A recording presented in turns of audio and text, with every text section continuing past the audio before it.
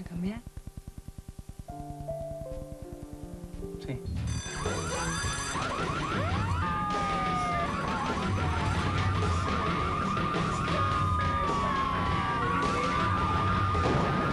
Vos sos un chorro. Estafas a gente inocente. Y yo no voy a parar hasta meterte en cana. Te lo aseguro.